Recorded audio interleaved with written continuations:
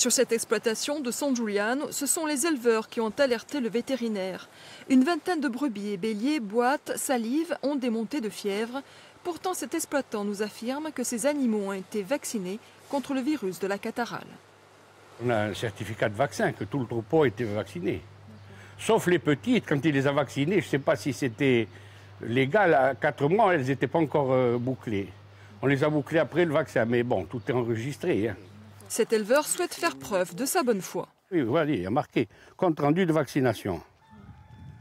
Ah, chez nous, on, a... on peut nous gérer qu'à nous. Là. Cet exploitant d'Antizanti a remarqué le même phénomène sur quelques bêtes de son troupeau, pourtant vacciné lui aussi. Encore, c'est le virus de la catarrhale, sérotype 4, qui est présent et a été responsable de la mort de milliers de brebis en 2003. Alors aujourd'hui, les éleveurs s'interrogent. A priori, il faut attendre la confirmation par les instances sanitaires, mais euh, il faut être sûr du fait d'abord que l'immunité est acquise par le troupeau sur ce sérotype précis et voir qu'il n'y ait pas la présence de notre sérotype. Je vous rappelle qu'il y a encore le sérotype 27 pour lequel la situation n'est pas tranchée sur la course.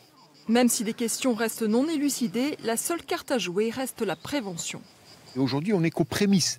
On sait que les pics, ça va être septembre-octobre. Bon, il se trouve qu'on est dans la meilleure période pour pouvoir vacciner. On est en fin de lactation et en début, euh, début premier tiers, enfin début de gestation. Il faut vacciner. En Corse, la vaccination contre la catarrhale est obligatoire. Or, selon les services de l'État, cet objectif n'a pas été atteint on a à peine 50% des animaux qui sont vaccinés. Donc euh, je veux bien qu'on s'intéresse à, l'état euh, symptomatique des animaux vaccinés. Mais je voudrais d'abord qu'on commence par vacciner tous les animaux. Officiellement sur l'île, seulement deux troupeaux sont affectés par la fièvre catarrhale. Les professionnels redoutent la propagation du virus.